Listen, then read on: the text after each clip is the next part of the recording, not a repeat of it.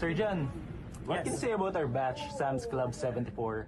All right, well, that is a good one. This is one of the most energetic class that I ever handled.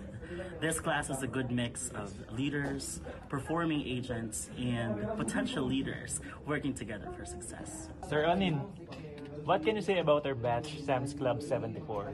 Oh, awesome! Okay, so to uh, Sam's Club 74 class, I know that the past few weeks in training have not been easy. So to those of you who are still in this journey, please know that I am proud of you for making it this far. So good luck. And again, my warmest welcome to all of you. Looking forward to your great contributions, and it's now time to apply whatever you have learned from training. And see you around. Congratulations, guys. Now, what is success for you? Success is having a supportive and loving family. Success is looking up to God.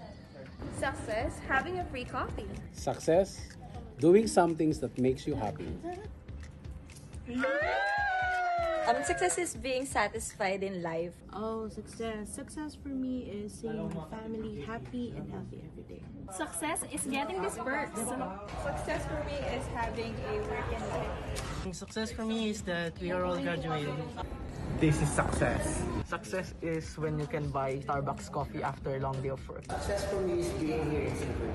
Success for me is to complete this training and meeting all of you. Success for me is getting 8 hours of sleep every day. For me, success is being happy on what you're doing.